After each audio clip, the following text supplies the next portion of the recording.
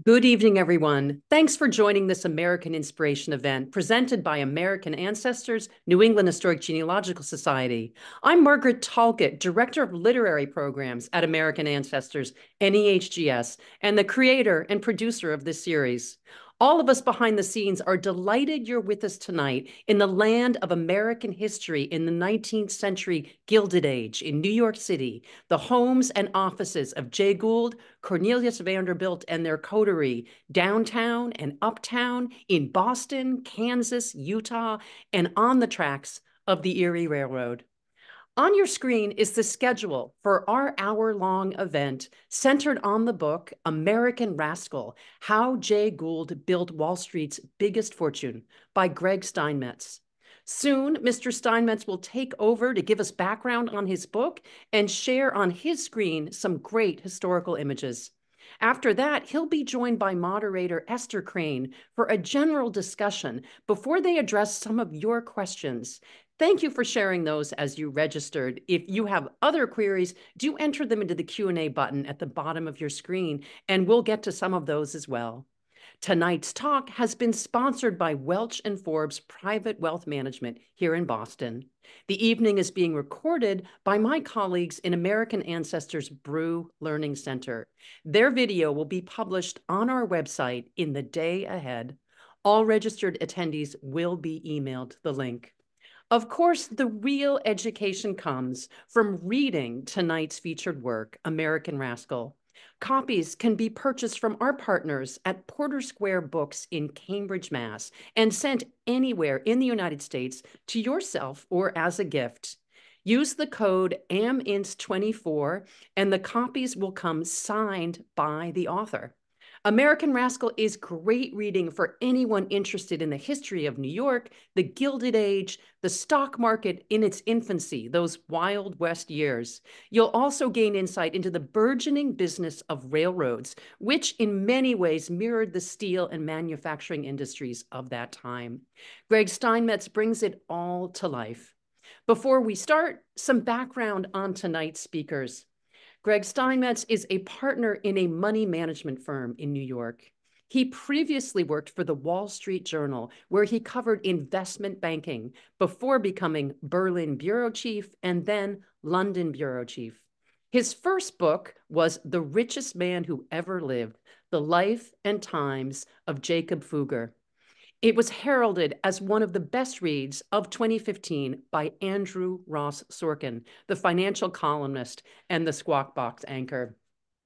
Now, about our moderator tonight, Esther Crain is the author of The Gilded Age in New York, 1870 to 1910, and New York City in 3D in the Gilded Age. In 2008, she launched Ephemeral New York, a website that chronicles the city's past. She speaks regularly on topics related to New York City history, especially during the Gilded Age. She also conducts walking tours that explore New York's hidden pockets and little known stories. I've been reading about these tours and I really want to go on one, especially of the Upper West Side, Riverside Drive. Sounds remarkable. Um, we'll meet Ms. Crain in 20 minutes or so, but for now, um, welcome to you, Greg Steinmetz it's it's really wonderful that you've taken time to be with us tonight and to describe this book. Um, I've long been curious about Jay Gould for personal reasons and also professional reasons as I worked in finance. Um, and I'm really looking forward to hearing more. So over to you and welcome. Well, thank, thank you very much. I'm thrilled to be here. like that nice introduction. Uh, I'm going to share the screen now and show you some slides. I think that'll be make it a little more fun um, for what we're trying to do here. Let's see. Sorry, I've got to bear with me, and I'm going to go to slide. Okay, there we go. Uh, my kids like this one, or asked me to put that in there uh, to show that the book is legitimate. So there you go. There's the book. Uh, you notice it's it's a bunch of financial people. The the book has a lot of finance in it, but I tried to actually tone that down.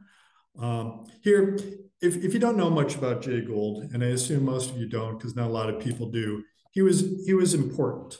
Uh, railroads built America and Gould built the railroads. He built more track than anyone. At one time, he controlled 15% of the country's rail network at a critical time before the highways, of course.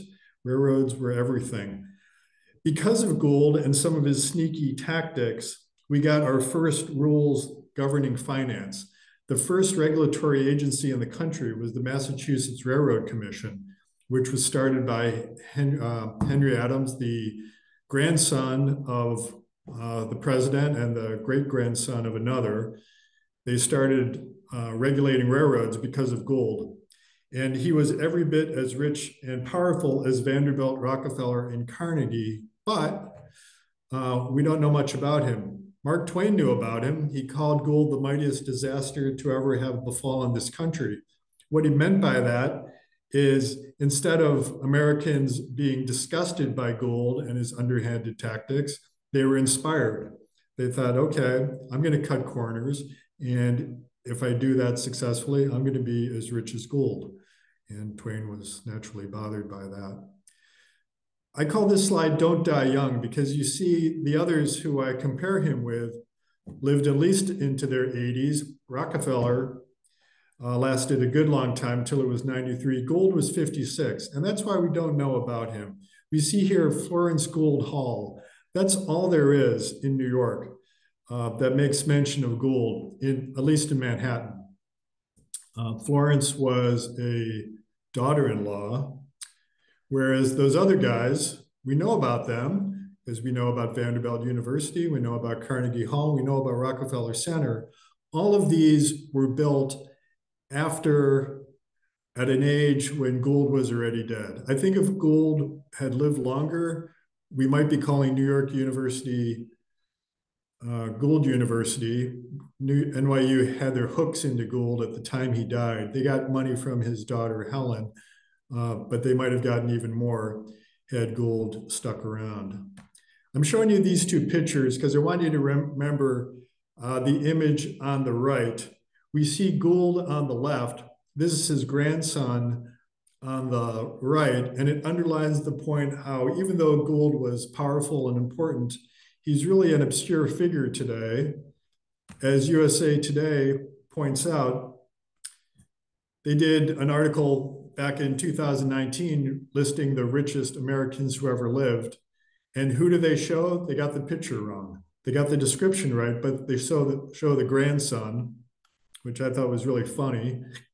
And the grandson was famous in his own right. He won a, a tennis gold medal at the London Olympics. I think that was 1910, uh, something like that. Uh, but they got the picture wrong, which shows even USA Today, they don't know who Jay Gould is. This is where he he grew up. The house looks nicer than when when he was there. He had a really tough childhood. He had six older sisters, and he had a father who was an alcoholic. The his mother died when he was four. He remembers nothing about her other than having kissed her cold lips when he was called to say goodbye to her. Uh, father locked him up in the cellar once. Uh, the sisters came home from school and discovered him. Uh, we see here Roxbury, New York. It's about a two hour drive from Manhattan. It's a very nice part of the Catskills. It's a nice area. It's pretty, but it's it's hard to farm. It's a bunch of rocks. It's good for dairy farming, and that's about it. Gould's dad was a dairy farmer. Uh, he made cheese and he shipped it to the markets in Albany and New York. Uh, tough childhood, and I think that's why Gould wanted to become rich, and he just worked like a dog his entire life. Um, he worked so hard that he made himself sick uh, and he was haunted by illness his whole life. He would get up early in the morning and study, and then he would go to school, and then he would do odd jobs. And at a young age, he taught himself how to be a surveyor, did a bunch of surveying up in Delaware County as a teenager. In the process, he got to know this gentleman. Zadok Pratt was one of the richest people in New York. He had a tannery up near Roxbury, in a town that he named after himself called Prattsville. Pratt had a big ego, and we see this, this ugly sculpture on the left. Looks like it was made out of paper mache, but he, he had hired a, a sculptor to come and, and sculpt his, his head in the rocks up there. Um, very big ego. Pratt served as a congressman. His claim to fame was starting the American Statistics Bureau. Uh, he also was behind uh, building a, the Washington Monument, and for his effort, he wanted his name on a plaque on the Washington Monument. They, they laughed him out of Congress for that. Here we see tanning. Uh, Gould, like that, Pratt made a lot of money in tanning, wanted to get in at it. He learned through in his surveying about a hemlock forest up in uh, in the Poconos, where he could build himself a tannery if he only had the money to do it. The hemlock tree is is down here in the corner. Um, it's very good for for tanning leather because of the acid in the bark. So you boil it up, you toss the hides in, and lo and behold, you scrape off the gunk and you have leather. By uh, by flattering Pratt, by sucking up to him, by uh, saying that Pratt was the greatest person who ever lived. He convinced Pratt to give him a bunch of money to start this tannery. And it did okay, but Gould uh, ran into some trouble when there was a, a, recession. He sold part interest to some guys and ended up having to uh, reclaim the tannery on the advice of counsel by creating a, a, small army of his workers, and they stormed the building and they got the tannery back. Uh, it was called the Battle of Gouldsboro, and that underlines the idea that as much as uh, New York's supposed to be this sophisticated, refined place, it was as much the Wild West as the Wild West was, with vigilante justice and an absence of law, and where you took the law into your own hands. Gould's first big score was inserting himself in the middle of a battle between Vanderbilt, Cornelius Vanderbilt, there on the right, and a guy named Daniel Drew on the left. Drew was in charge of the Erie Railroad. Vanderbilt wanted to buy the Erie Railroad so that he would have a monopoly in New York State by merging it with its New York Central. That way he could control all the grain and all the livestock traffic that came in through the Great Lakes, uh, landed in Buffalo, and then put it on rail cars, bring it down to the city. Uh, we mentioned before Vanderbilt, we know him because of Vanderbilt University. Those of us in New Jersey know Drew because of Drew University. Gould put himself in the middle of this fight. He ends up getting the Erie Railroad by printing up a bunch of phony stock certificates. Uh, Vanderbilt doesn't like it. He sues. He gets an arrest warrant for Gould. Gould flees for New Jersey, where the law can't touch him. There were no extradition treaties in those days between the states. And uh, you know, another example of how uh, uh, might makes right back in the Gilded Age. Gould was the brains of the operation. He had help from this guy, guy named Jim Fisk. See him here in a uniform. He liked to dress in uniforms. He uh, backed a civilian militia just so he could call himself general and mark, march at the head of it in parades. Uh, Fisk was the one who printed the phony stock certificates and defended uh, Gould when they fled to New Jersey. They were in a hotel on the Hudson River on the other side from Manhattan.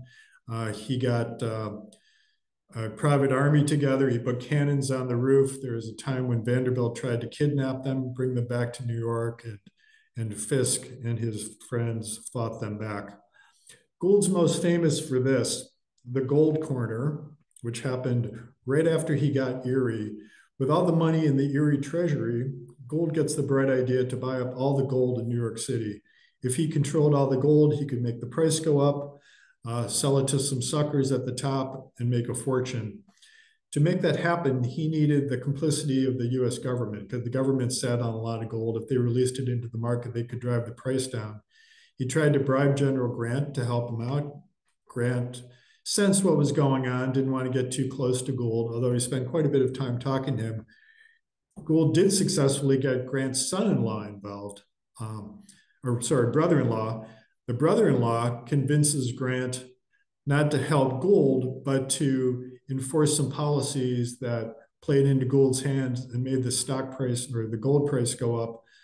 Um, Gould ends up selling by, uh, with the help of Fisk, entering a bunch of uh, phony trades. Fisk should have gone to jail for doing that, but Boss Tweed, who ran New York at the time and appointed all the judges, arranged for Fisk to go before a bunch of friendly judges, and nothing ever happened. Gould was in cahoots with Tweed.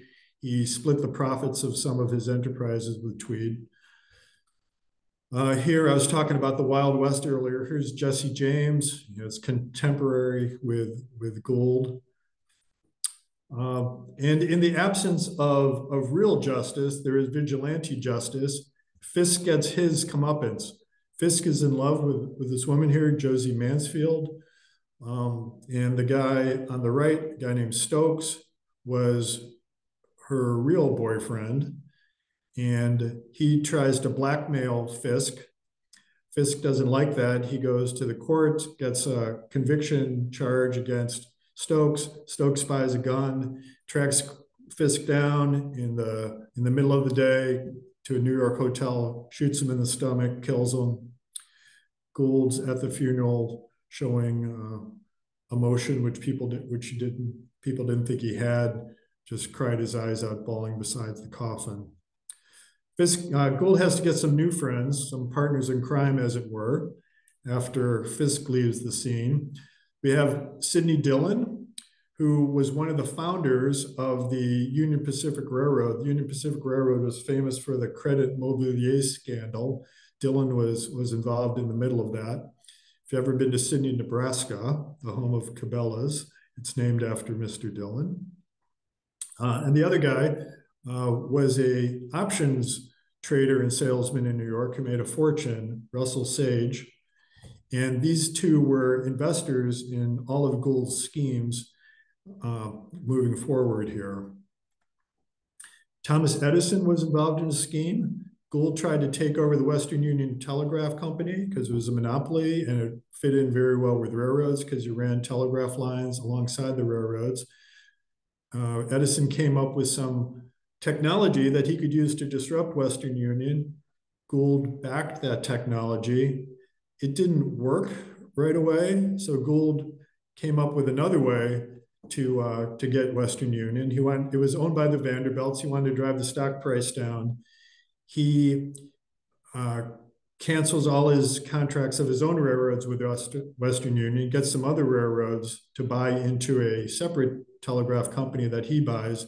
That scares the daylights out of the board of directors of the Western Union. They sue for peace. Uh, the stock price goes down because their profits are disappearing because of the competition. Gould goes in and buys enough of the stock to snatch it away from not Cornelius Vanderbilt, but his son William, which who was not as sharp as his father. And Cornelius Vanderbilt called his son a blockhead because he was not up to speed. But by then, Cornelius had parted the scene, and Gould ends up with Western Union. Here's Union Pacific, Gould ran Union Pacific for a while. He controlled it. And then he comes up with a way to compete with it and get the Union Pacific people, including his friend Sidney Dillon, to sell it to him for a very cheap price. And Dillon is incensed that his friend would do that. But Gould says, well, if you didn't sell to me, I would have destroyed the Union Pacific. And the Union Pacific board, including Dillon, all agreed with that because Gould was so sharp. They knew they didn't have a chance against him. The, the last financial deal I'm going to show you is the Manhattan Elevated, precursor to the subway. It ran tracks along uh, 9th Avenue and I think 3rd Avenue. It was a publicly listed company. It was selling for about 50 bucks a share. Gould owned a newspaper, the New York World. He used it to write nasty stories about how, how the Manhattan Elevator was going to go out of business. It was going to go bankrupt. It was run by crooks. It drives the stock price down to 15. He buys up all he can. And as soon as he gets control of it, lo and behold, the New York World starts writing nice things about the railroad. Stock goes back to 50 bucks a share. And once once again, Gould ends up with, with more money in his pocket than he did before. If you've seen the show Gilded Age, you'd recognize this guy, the lead character. I think more than anyone, it's based on Gould. Kind of looks like him. He's the one with the, the Fifth Avenue house. Uh, like Gould, he is a ruthless businessman, but is a loving father. The same is true of Gould. Gould had six children. He uh, loved his wife, he loved his kids, uh, he doted on them, but he was utterly ruthless in business, just like Mr. Russell here. Now, in the show, they mention Gould, but it's fiction. They can do whatever they want. But I don't think we would have this character if not for G.K. Gould. Gould uh, had his, uh, he worked all the time, but he also did some things for fun. Um, if you remember, you know, Larry Ellison wanted to win the, the America's Cup and he hired the best boat designers and the best crew and everything else and walked away with the prize. Gould did the same in uh, what was then the, the most important regatta on Long Island Sound. He built a 200 foot uh, steamship with sails there called the Atalanta. When he found out that Vanderbilt's boat was bigger, he made his a little bit bigger. He won the famous Larchmont to Trumbull, Connecticut race. Here is his private rail car, the uh, private jet of the day. Here's where he lived on Fifth Avenue. Uh, it's, it's not the prettiest of those old, what do you call it, Beaux-Arts house. It, it's not there anymore. It got torn down. It's now uh, on the edge of the Diamond District in the city, perhaps fittingly. Uh, we have Lyndhurst, which was his castle uh, up in Tarrytown on the Hudson River. In the summer, he would commute from there. He would take a boat down, uh, pick up some friends like Cyrus Field, the guy who laid the transatlantic cable, and they would ride down to Wall Street together on that big boat that I showed you. He had the biggest greenhouse in the country. This is where he's buried. That's the mausoleum in um, uh, Woodlawn Cemetery. The biggest mausoleum they have there, there's nine Goulds buried inside there. There is no name out there. Gould didn't want any anyone to know that he was there. Uh, there were grave robbers when he was buried. That might explain why. And I'm, I'm not going to talk a lot about his children, but the oldest one like was as good at spending the money as his father was in making it. This is Georgian Court out in uh, near Lakewood, New Jersey. At one time, it was the biggest uh, residence in the U.S. and I had a golf course on the property. It's now a uh, college. After Gould, uh, George Gould squandered the money and had to get rid of it. So, so that's my speech. So now we're ready for questions. Well, thanks so much, Greg. Um, that was really uh, a great overview of what I found to be an incredibly readable um, book. And I'm not somebody who is naturally like well versed in finance, but I thought it was a wonderful look at a man and some of this treachery that we cannot even imagine and as you say, uh, he was also a loving husband and father. Um, and that dichotomy is so interesting to me. Um, we can start with an audience question. Um, so, given the lack of financial oversight and regulation in the 1860s, uh, is there anything that um, President Grant or his Treasury Secretary, George Boutwell, could have done differently to prevent Black Friday in September of 1869 or prevent the manipulation of the gold market uh, by Gould and Fisk. Yeah, and uh, that's exactly what Gould wanted them not to do. What they could have done, Gould owned all the gold that was in private hands, or at least had contracts to buy it all. Uh, Grant could have just gone on with the policy that he already had in place, which was keeping the gold price low. Gould convinced him and his Grant's um, brother-in-law convinced him to keep the gold price high, arguing that it would be good for farmers. But at any moment, the government could have just released government gold into the market and destroyed the corner. And that's ultimately what they did. But it didn't happen until after Gould made a pile of money and the price got very high. So Gould, he's known in you know popular culture now, um, by those who know him at least, um, is sort of like the personification of the robber baron. Um, and then there's other people, of course. There's Carnegie, Rockefeller. They have also earned that title. But were there any examples of these titans of industry, these these guys, these financiers who were actually upstanding citizens and maybe played by the rules? Well, one thing about Gould is most of his victims were other people who were trying to do to him exactly what he was doing to them. There were other Wall Street types. But in the case of the Manhattan Elevated deal, there were widow, widows and orphans who got hurt. Um, let's see, Carnegie gave away all his money, and he he made it using all the tricks that Gould did, or a lot of them, but he gave it all away. So, you know, was was he upstanding? History certainly remembers him as being a good guy for building the Carnegie Libraries, Carnegie Hall. The Carnegie Foundation still gives away oodles of money every year. Uh, Vanderbilt was probably the best example of someone who played by the rules, which is interesting because he was one of the people who would say, you know, I don't have to play by the rules because I'm so rich. But he tried very hard to run a good um, service for his customers. Uh, Vanderbilt did not only rails, but he also had steamships and, and other things in the New York area. And he provided customers with very good service.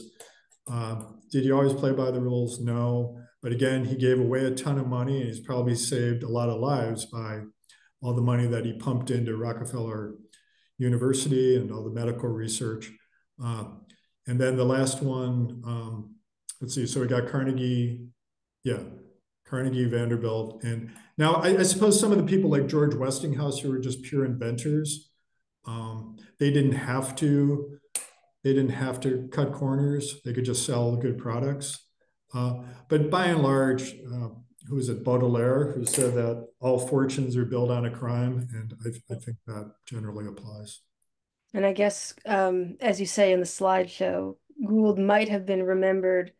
He might have had a better reputation if he lived long enough to give all of his money away and put his name on things that benefited um, society. Yeah, he didn't have a chance to rehabilitate himself. so we don't remember now all the nasty things that Rockefeller did to his competitors, but we, we remember Rockefeller Center every time right. Christmas rolls around and we see the tree. Right? And Carnegie as well. Yeah. Um, this is another reader question. Um, was Gould the source for any character? Um, did he inspire any character in Edith Wharton's work or Henry James or any of the other authors of the time? That's an interesting question. And I looked into that. And the, the, the literary reference that I found that was most relevant wasn't about Gould, but about August Belmont. You know, we've got Belmont racetrack where they hold one of the Triple Crown races. Anthony Trollope uh, wrote a book called The Way We Live Now, and the lead character in there is has a lot in common with Belmont, including the name. But no, I haven't found Gould in literature. That means he's not there. It's just that I haven't come across it. Yeah. You would think that there might be, but no. Well, maybe the the Gilded Age TV show is his, uh, you know, yeah. the closest inspiration. yeah. Um, so you mentioned that Gould, uh, he didn't work all the time, although work was his his passion. Uh, he he had a yacht that he loved as well. Um, but what other leisure activities did he pursue, if any, or was there any passion besides uh, business and his fortune? And we have this slide. Um, this is probably, yeah, the 1860s in Central Park. And here are some of the, you know, wealthy people of, of uh, Fifth Avenue and Murray Hill at the time, uh, you know, driving their carriages and, uh, you know, in the middle, in the afternoon, which was a very common thing around four or five o'clock uh, in Central Park. I can imagine that uh, Gould would not be found among them, though. No, you know, Gould had a whole garage full of these things. Um, and you know all the interesting names, uh, Phaetons and Broughams and all that stuff. Mm-hmm. Um, I don't know how much he got out on these, uh, but he did uh, have them for, um, in addition to the boating, his his primary uh, leisure activity, apart from the boating, was I mentioned his mom who died very young. He didn't know his mom at all, but he did know that she liked flowers. And she planted flowers all around their house up in Roxbury. Those survived her, of course, uh, the roses and whatnot. So Gould took an interest in flowers, and he had a garden atop his Fifth Avenue mansion, and then he had this this greenhouse. Uh, when he bought Lyndhurst, that house on the Hudson, it came with the greenhouse. That was one of the reasons he bought it. Uh, it burned down shortly after he bought the house, and then he rebuilt it. And on days that he was was at Lyndhurst, he would after dinner you know, go and calm himself down for from a day hard day at work by just you know, strolling the greenhouse and uh, and absorbing the ozone and and really unwinding just by walking through the greenhouse. And he was also involved with, uh, I think, creating some new species of orchids and, and that sort of thing. He took it seriously. So there's no Gould orchid named after him, though. no, I, I, came across a Gould orchid, but I couldn't trace it back to him. Oh, maybe. Uh, I think in the book, though, you mentioned that you know he enjoyed just kind of coming home and, eh, to his home and, and reading. Yep. And I'm somebody that's always curious about what people read. Is there any information on what he would be reading? Well, his favorites were were everyone else's favorites. He liked Mark Twain, even though Mark Twain didn't like him. He liked mm-hmm. Dickens. Um, he his library had a lot of classics. Did he read those? Uh, maybe, but he he didn't he didn't cite them. Uh, so I, I, don't know exactly what he read, um, other than the, the, the popular books of the day. He also had a book on the shelf about um, phrenology, you know, reading mm. bumps on heads. That was very popular at the time. Maybe that belonged to his wife. Um, he he read a lot for work. He absorbed you know, newspapers and newsletters. He would go after having dinner with his family. He would go to the hotels near his house just to gossip with brokers to hear any rumors that could help him in his trading the next day. Um, so yeah, he he kept busy.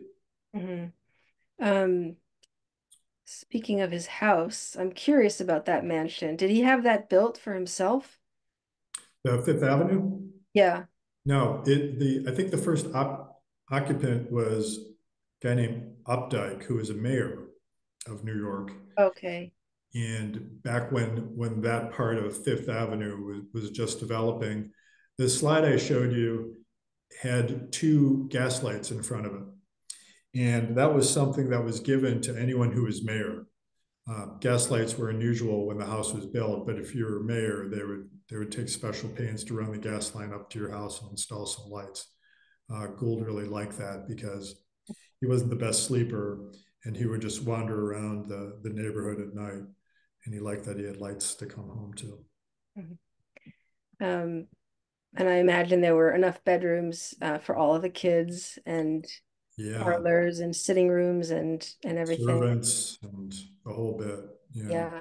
There's such a fascination with the, you know, the Gilded Age houses of the era. Um, uh, did it bother him though that his house was, you know, nothing like, say, like um, the Vanderbilt mansion on Fifth Avenue and 57th Street, which I think we have a slide of as well. Um, yeah. Well, that, that, that mansion was built by one of the sons uh, built after Gould's house. Did it bother him? No, I don't think he com- he competed that way. He competed the way he kept score was money mm-hmm. and and power. So people feared him and uh, knew that he was rich. I think that was good enough for him. Now his his son George, we showed that picture before.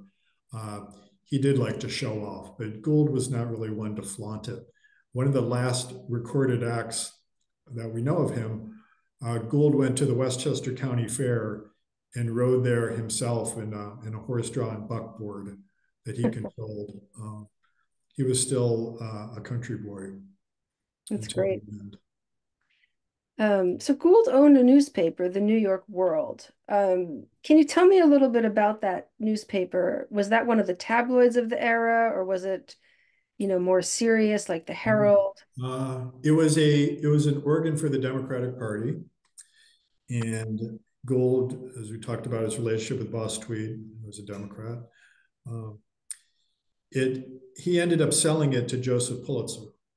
Pulitzer oh. turns it into you know the premier paper in New York City, um, and you know it changed its its um, editorial policy and everything else. Um, so no, I, I think it was a broadsheet. Mm-hmm. And this is, of course, you know, the era of the great newspapers and you know, newspaper row. Yeah. I'm assuming that uh, the rest of the press uh, treated him with disdain and disgust. Yes. Was there any newspaper that came to his aid? No. Uh, the New York Times likened him to Mephistopheles in an editorial. Um, the other papers gave him a lot of grief too, um, because of the the corruption he was engaged in in New York City, he, mm-hmm. and the fact that he never uh, saw justice for that. You know, he was arrested three times, but never convicted. Um, when Boss Tweed was arrested, Gould was there to provide the bail money. And as long as Tweed was around, Gould was protected. After Tweed left and went to jail, uh, Gould protected himself by hiring the best lawyers in town. And he kept um, many lawyers in New York uh, busy all the time. I think there were 200 suits against him being defended just by a single law firm. Mm-hmm. Did Gould ever invest in uh, European railroads? This is a reader question. Yeah, um, not that I know of. Mo- the money flowed from Europe to the States. There wasn't a lot of growth in Europe. The US was an emerging market, and Europeans invested uh, in the States. I mentioned that Trollope book, The Way We Live Now. Uh, one of the, the drivers of the plot is a, a fraudulent scheme called the, the uh, Mexican Railway, where they lured money from, from unwitting investors, aristocrats and whatnot in the UK and Germany, and they invested in this sham railroad. Gould didn't do anything like that. His railroads were were names we know, you know the Union Pacific, Kansas Pacific, Missouri, these sort of things. Uh, here's another reader question. Um, Many of the railroad barons were in cahoots with J.D. Rockefeller, uh, providing Rockefeller with discounted transportation for his oil versus the other oil producers. Uh, did Gould do the same? That, that was a, a Carnegie thing.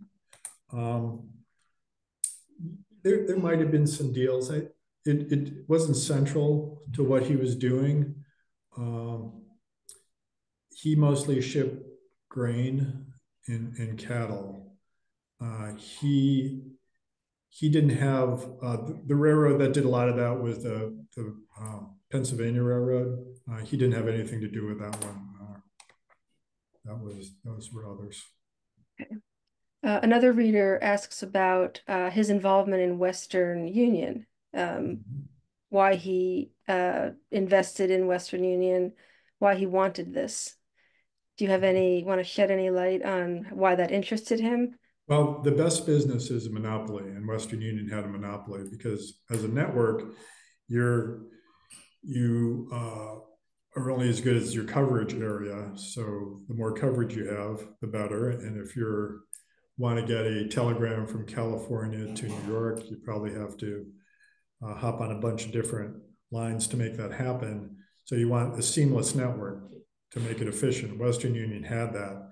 So Gould wanted to get that, not only because it was really profitable and spit out enormous dividends, but it worked perfectly with railroads because you ran the telegraph poles parallel on the right of ways of the railroads, and you set up telegraph stations inside the railroad stations, and, uh, and just perfect synergies between those two businesses. Mm-hmm. Gould was was tickled pink when he managed to get his hands on the Western Union. My understanding um, through your book is that Gould just actually really loved railroads. Yeah, yeah, that was you know the internet of the day. It was something new and different and changing the world. Uh, there's also a lot of money in it, and it was the first industry that required just enormous amounts of capital. Uh, Wall Street sort of came into being because of the railroads. It was the only place where you could raise enough money to do to buy the tracks, buy the uh, the land, uh, everything else you needed to run a railroad. So there was just so much money sloshing around that industry. Gould wanted to be close to it, but the technology also appealed to him too. I know through my own research into the Gilded Age that um, after the Civil War, there was what one writer called stock mania, and like a lot of sort of regular people were were enticed by what they called stock gambling and the Wall Street and the stock market. Um, can you elaborate on that a little bit? Just how this was like this whole new thing for the average New Yorker to get involved in and possibly lose, you know, a lot of money in, or make a lot of money, or uh, make a lot of money.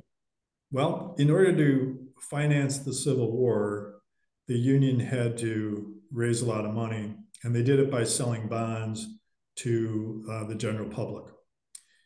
And the bonds paid off and they paid nice coupons out to their investors. So that got the public introduced to investing for the first time.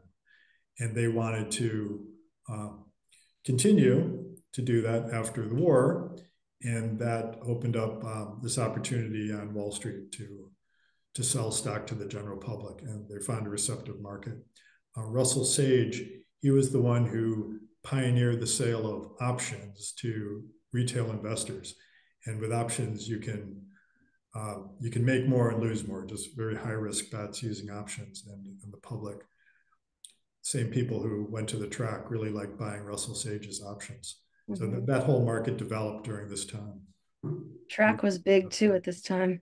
It was huge, yeah. Uh, this is a reader question asking you about the process of writing the book. Um, how long did it take you to write it? And uh, how did you go about doing that? Well, um, because I had a day job, it took a long, long time. And uh, it was seven years between the two books. And I had started working on this one, or at least, you know, doing the preliminary research as soon as I finished uh, my first book. Um, and the the process was, you know, first I read everything that I could that was out there on Gould. Um, ended up dipping into the archives, which was difficult during COVID. But one of the pivotal documents to write the book was the congressional investigation into the gold scandal. That's that was all online. Uh, was able to visit a few archives, and then I wrote the book mostly on the train on Metro North going into work. Mm-hmm. Um, and sneak time on weekends to do it. Uh, so it was just a very long process. It shouldn't have taken that long. Kind of fitting that you wrote it on a train. Yeah, that's right. And not only that, but I would pass some of the landmarks, uh, Woodlawn Cemetery, you know, drive by there on the train, drive by Lyndhurst, you know, coming down from Westchester, uh, driving into uh, Grand Central Station, which was built by Vanderbilt. So mm. there are little traces of Gould just on my commute. Uh, the story was very close to home for me. Uh, I mentioned the boat race. Larchmont to Trumbull, Larchmont, Westchester County. That's where I live. Uh, Gould founded the American Yacht Club, which was up up the road from me in Rye. So it's a very New York story. It's a very uh, Westchester County story, which made it more fun. You can kind of feel the ghosts of all these characters as you mm-hmm. pass by. Oh yeah, That's can be inspiring or unsettling. Um, tell us a little bit about uh, Gould's wife. I know her name was Helen, but she went by mm-hmm. Ellie. Yep. Uh, was she the daughter of somebody wealthy? Was she, um, did she feel, was she as happy with her home life as her husband was? She grew up in uh, right where where Edith Wharton grew up, that same same neighborhood around Gramercy Park, Murray Hill, down there. Uh, her dad was a, a prominent um, grocery wholesaler. He was he was pretty rich. Um, the the story was that Gould was living in in a boarding house uh, around 23rd Street. He caught her eye walking down the sidewalk one day. Uh, got to know the father, or the father knew about Gould already because Gould was making a name for himself on Wall Street. Recognized that he was a very smart guy, on the way up. Uh, probably didn't like the fact that he came from uh, poor, uh, you know, farming stock. But they got married. She was very uh, shy and introverted, uh, church going. She's a good mother. She wasn't a social climber, except for the fact that she wanted her daughters to marry well. Mm-hmm. And so she tried her best to uh, introduce her daughters into New York society. They, uh, along with the Vanderbilts, they had to start their own opera company because the New York Opera didn't want nouveau riche in there. Uh, she was involved in that. She was very good friends with Russell Sage's wife, who helped bring her out of her shell. She died even younger than Gould of, of TB. Um, and you know he was devastated by that. Uh, and then you know he uh, died from the, the same disease a few years later. You say that she wasn't a social climber. Um, what struck me about the couple is that, um, you know, for all of Gould's, you know, uh, being prominent in the business world on Wall Street and all the newspapers, you would think that he would be somebody who would be attending all of the Gilded Age, you know, all the events that the era is known for, the balls and the, you know, dinners at Delmonico's and the horse show and the nights at the opera and the theater. Uh, but it seems like um, from your book, he's very much a homebody, and his wife was as well. Is Yeah. that that's how they were, or is it just that maybe nobody invited them to anything because Gould was so reviled? Well, the Astors never invited him anywhere, but but they did go to shows. Uh, he went to Delmont, Delmonico's a lot. That was the company cafeteria. After he did the Erie heist, before they snuck off to New Jersey, Fisk took him to Delmonico's and they ate a bunch of oysters and, and had to flee the scene when police burst through the door to try to capture them. So Delmonico's was something they went to a lot. Uh, Fisk owned a opera house on 23rd Street. Uh, Gould would, he attended the theater one night with General Grant sitting in his box and bent his ear off about what he should do with gold. Um, so they did get out, but that wasn't that wasn't that important to them. They didn't own a place in Newport uh, which a lot of people in those days did. Oh, they did or didn't? Did not. Okay. Did not. Well, they had Lyndhurst. They had Lyndhurst. Yep. Yep. But the the the scene the scene in Westchester wasn't the same as it was in Newport, uh, and he commuted from there. So during the summer, he would he would go to work and, not take the summers off to to frolic in the sun like the Newport crowd. Mm-hmm. Um, this is a reader question. Uh, you mentioned that he came from modest means, similar to Carnegie. Um, any thoughts on the psychological motivations for wanting to be so wealthy? Yeah, I, th I think he wanted to save his own children from the hardships he experienced as a as a kid. Uh, you know, his father was drunk. He was poor. Um, he Gould's father couldn't even afford a farmhand, so he did everything himself. Um, and as soon as Gould was able, he would, would help him, although Gould didn't want to spend his life on the farm. So he got out of there as soon as he can. Um, so I, I, think that's where the, the impetus came. But uh, Gould was, he, he was obsessive. Um, as, a, as a you know, kid in school, if the teacher called him up to the blackboard to do a math problem, Gould would stand there until he finished it, figured it out um, even you know school would be done and he'd still be standing there until he could crack the code so yeah i think he wanted to make a lot of money for the sake of his family but but where that that special something comes from you know who the heck knows mm-hmm. uh, and there was also i think part of it wanted he wanted to maybe restore the family to its former luster he grew up poor but he had ancestors who uh, came over uh, very early, uh, maybe not on the Mayflower, but before George Washington's family ever did. And they fought uh, as officers in the Continental Army. Uh, they were pretty prominent back in uh, Massachusetts, uh, but the, the wealth got dissipated and, and Gould grew up dirt poor. But he knew about his, his family, and I think he did want to restore the name. Mm-hmm. This is another reader question. Uh, Gould was born early enough to have served in the American Civil War. Uh, did he hire a substitute or serve in his stead, or did he uh, volunteer? No, that's a that's a good question, and, and I looked into that one. Uh, it would have cost three hundred dollars, which was a lot. Uh, that was maybe you know, six seven thousand dollars in those days to buy your way out. But Gould got out because he had to be five three, and he was not five three. He might have been only uh, five feet tall. So he got out because he was too short. He never had to buy a substitute like a lot of people did. Although I'm sure he would have. No question. I think in your, your book you described him as elfin. Is that yeah, right? that was one of the words they threw around. Uh, think of you know any any colorful word to describe someone who's five feet tall, and, and people would hurl that at him. Gould was active in a in the Gilded Age, which is you know a time where there were lots of social and political changes going on in the country, and I'm just curious if if he ever this if we know how he felt about things like uh, suffrage or women's rights or the temperance movement or even the abolitionist movement. Well, uh, temperance for one, he's a big supporter. He was a teetotaler. He uh, spoke every chance he could about the curse of drink.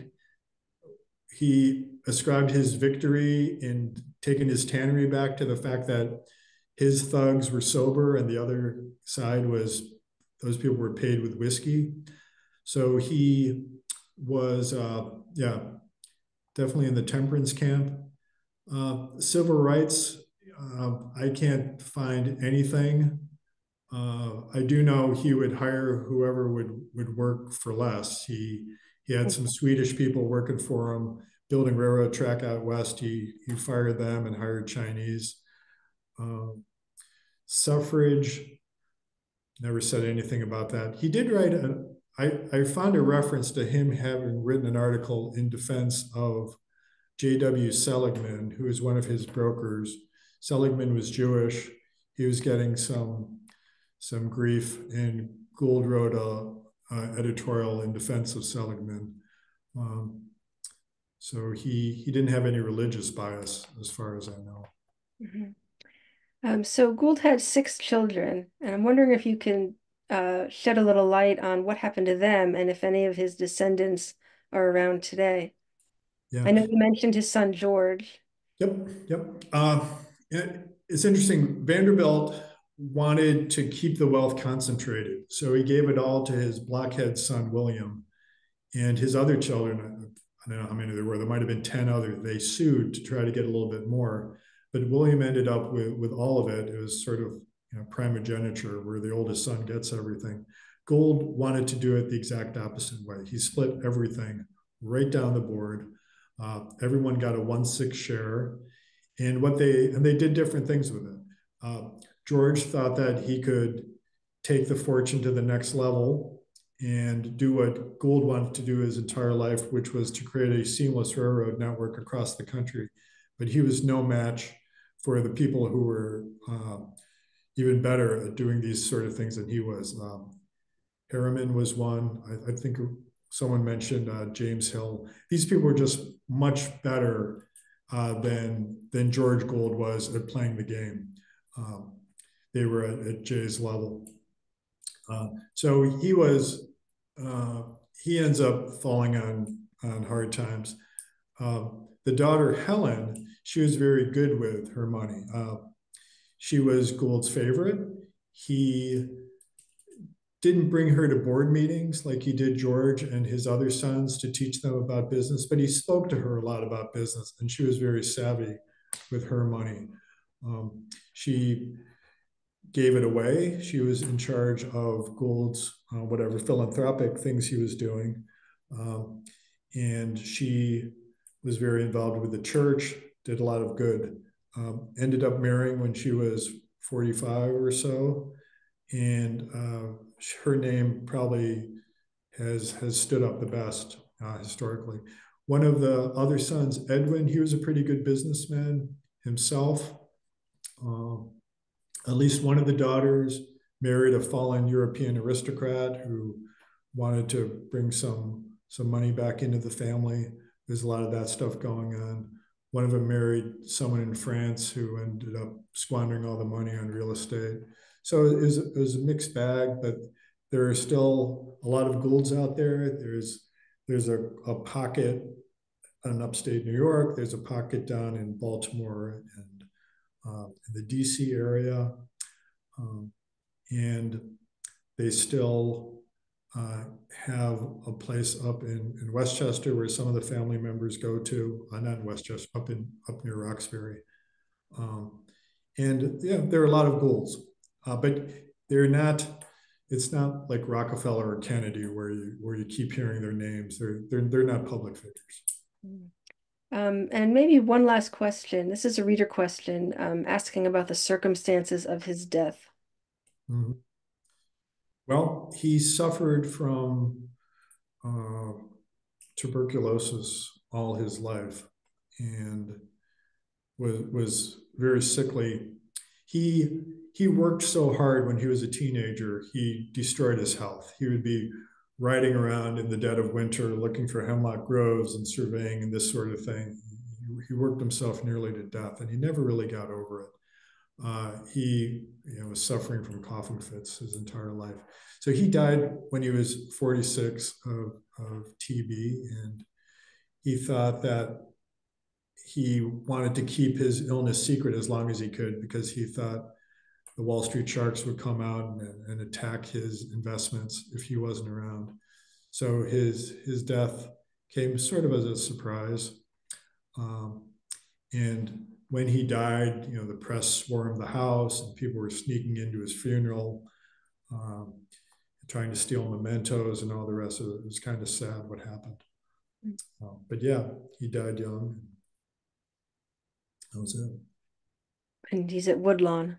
And he is at Woodlawn Cemetery, which is a great place to visit. All sorts of famous people are buried there.